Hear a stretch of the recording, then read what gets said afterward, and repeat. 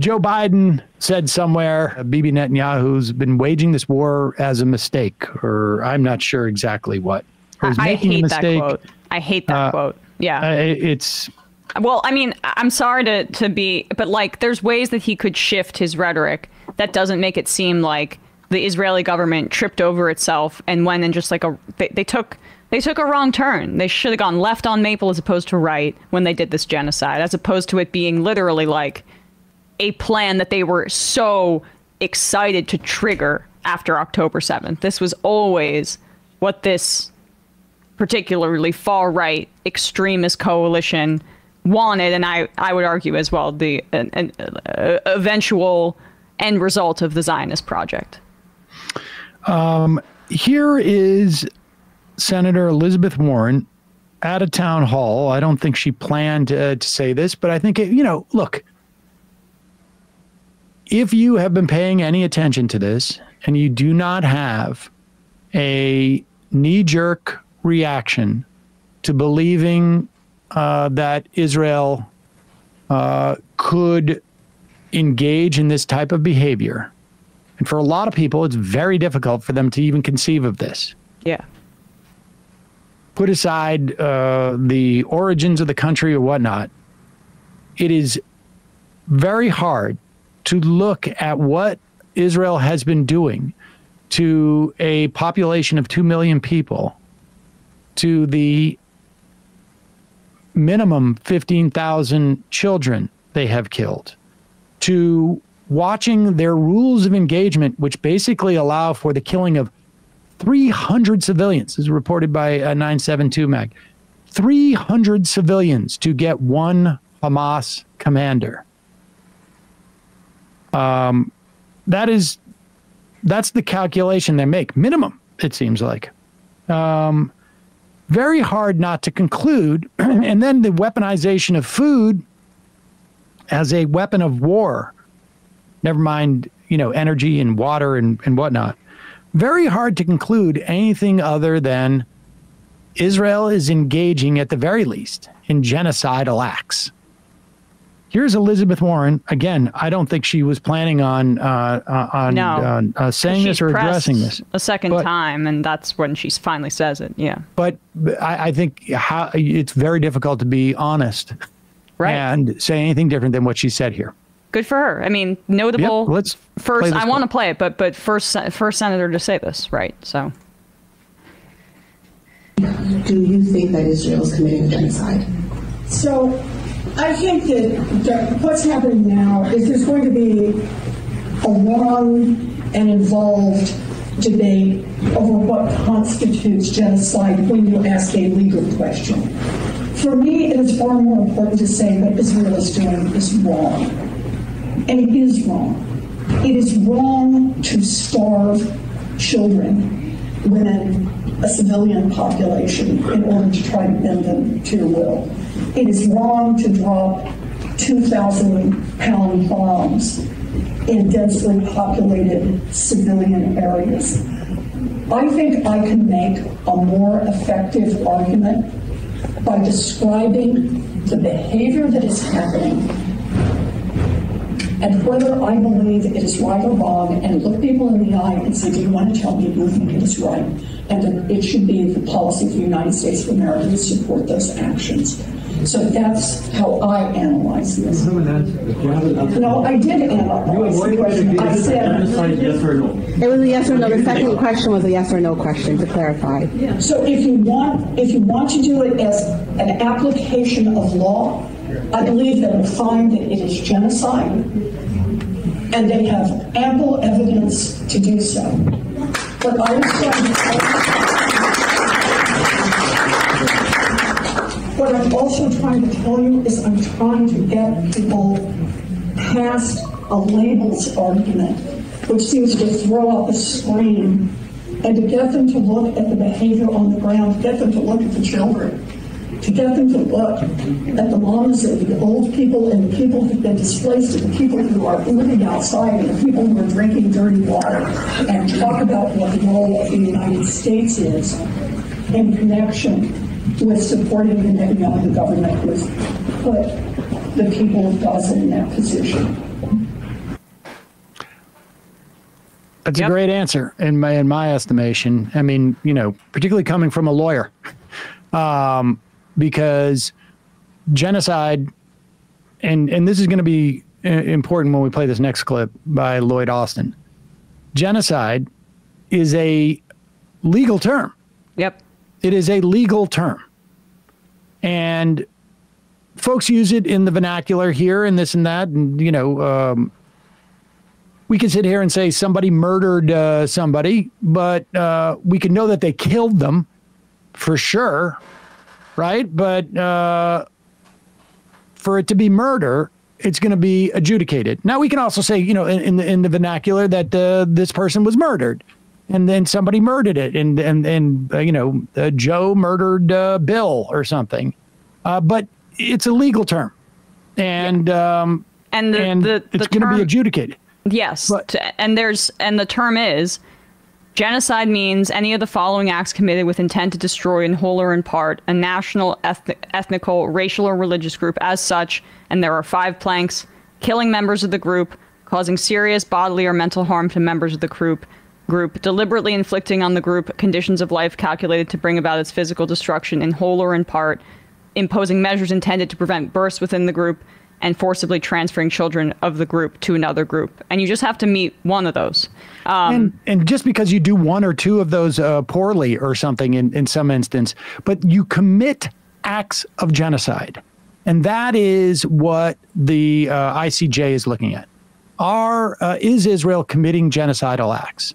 And um, and as a legal as a lawyer, Elizabeth Warren is like, look, I happen to think that there's uh, there's definitely evidence, and that they're ultimately going to find that this is genocide. And she's simply saying, if that term bothers people and can't and and and and uh, in some way gives them an out, then I tend to to to agree with this, and you know, avoided in certain instances using the word genocide not because I don't believe that what's going on is, is genocide, but because it allows people to change the topic to this semantic argument as opposed to Israel is trying to starve children to death.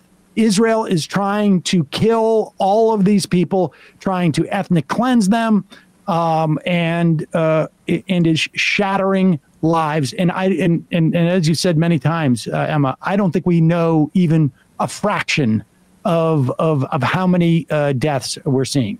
But here is Lloyd Austin, and if you listen carefully, I think he is also giving a very legalistic answer to this question. Um, even though you can go back to December maybe it was December, maybe it was even November, where Lloyd Austin was saying publicly, um, you might be able to win a battle here, but you're not going to win this war uh, uh, against uh, Hamas. And uh, particularly if you're killing all these civilians. Here is uh, Lloyd Austin um, at the Senate Armed Service Committee hearing answering a question from uh, the, um, I don't know, uh, genocidal uh, Tom Cotton. frankly, maybe in other contexts.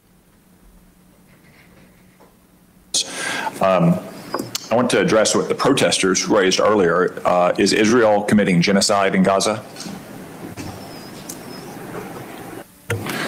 Uh, Senator Cotton, I, we don't have any evidence of genocide uh, being uh, created. Uh, So that's a, that's a no. Israel's not committing genocide in Gaza. we don't have evidence of that, to Thank my you. knowledge. Yeah. Better than Director Burns and Director Haines did last year, last month at the Intelligence Committee when they dodged that question.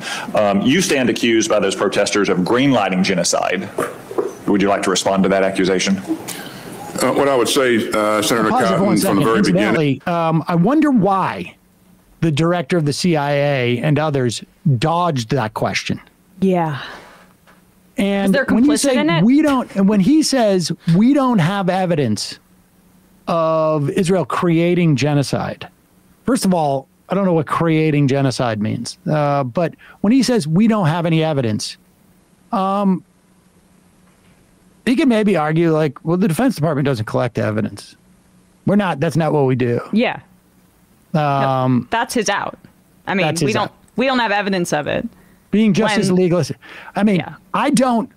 I also don't possess evidence. I can read it. I Yeah. can I can see it. but I don't have any evidence either. Yeah. Incidentally, like I don't have the forensic material. I don't have the you know uh, the I don't have a witness in my uh, you know a studio or my apartment. Um, th- that doesn't exist. I That was very this is deliberate. very legalistic, without a doubt. Without a doubt. Um, and I don't know. Like, I guess I will differ a little from you on on Elizabeth Warren. Um, I understand the argument you're making, right?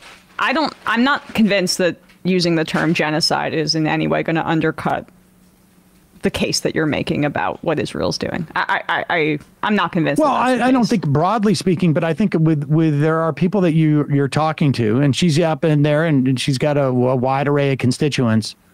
Um, I think her point is that when you say genocide, uh, a, a certain percentage of people just immediately start going with arguing about the uh, terms of genocide as opposed to actually addressing what's actually going on there, and it becomes a semantic argument. But I haven't seen that. I mean, I, I, I guess, right? But that, well, you should that- meet some people in my family. Well, I, I look. I mean- mean, I, I've had this con- these kinds of conversations too with fam- members of my family.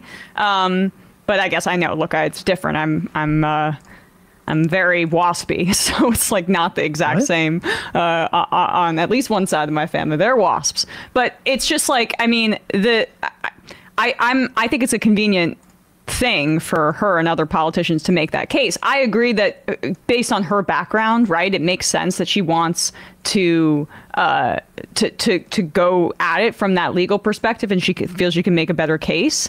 But I just think that you know we're Well, moving I so think you- quickly you in this conversation. I'm saying, I, I, you're, you, uh, no, the, I, I think I'm arguing that she says, in a legalistic sense, yes, it's genocide. She believes it is. I mean, obviously, like, you know, she's not the adjudicator of this, but she said, legalistically, I think there's evidence uh, and that there's enough evidence to find that they are committing genocide.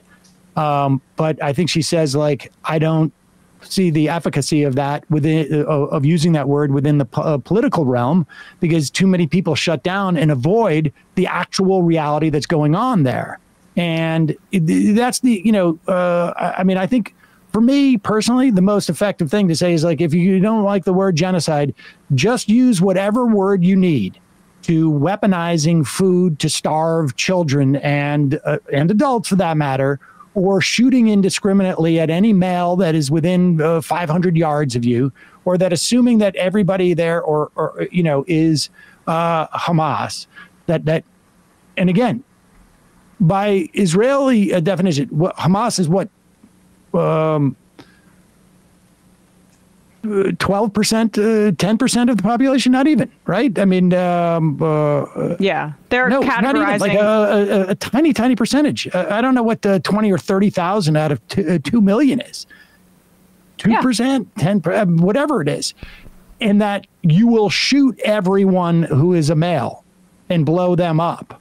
Um, that is, you can call that whatever you want, but you cannot call it humane or justified or, um, you know, the the the ICJ will decide with the Fair with enough. genocide. I mean, I think that her incentive structure is different than mine, right? Which is I I think it's important to say the word, clearly define the terms, look through talk about the genocide convention as the fact that the US and Israel are both party to it and in violation of it because I think democratizing the term is actually important for global solidarity on this front where people can understand like what is actual warfare and what is genocide. Um, and I think that the it's been it's been defined really by the West for quite a while, and I think in the cultural imagination of it, it's a historic event that happened to Jewish people in the Holocaust, and then people probably couldn't name a second one.